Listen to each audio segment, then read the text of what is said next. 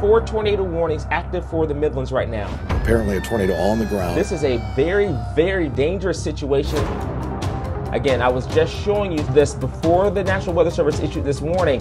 Alert days posted because we are tracking the potential for some isolated tornadoes. I want you to have your mobile device on so you can track us as we're tracking these storms and trying to keep you as safe as possible.